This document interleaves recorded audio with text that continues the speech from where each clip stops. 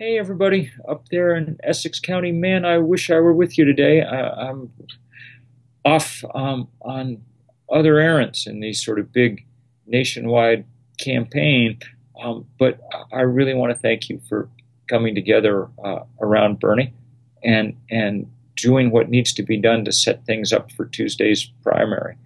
Um, you guys should have no problem with this. You look across, you're, you're practically Vermonters some of them, in some ways, so you know that Vermont is a small place, and you know that because it's a small and tight place, that we're Bernie Sanders in any way a, a phony, he would have been found out decades ago. Just the opposite when he ran here in the primary a month ago, he got 88% of the vote. He carried every single city and town in the state of Vermont. Think about that for a minute.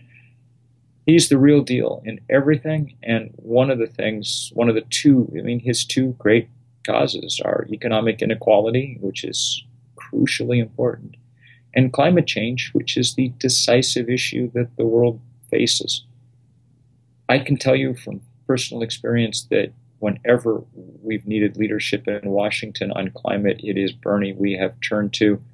He was the only guy who was willing to help when the Keystone Pipeline was the question. Um, he's, well, he defines what a champion of important causes is. And you can tell that in New York because he's been the guy willing to say, no, fracking. We're not going to do it anymore. He's been willing to follow the lead of those great activists across New York who forced the governor to ban fracking. So good on him. Good on you. Um, um, um, my prediction is if we all do the right thing, then karma will have earned us a beautiful summer and maybe even a real winter next year, which would be a nice prospect. I look forward to seeing you all um, one side of the lake or the other.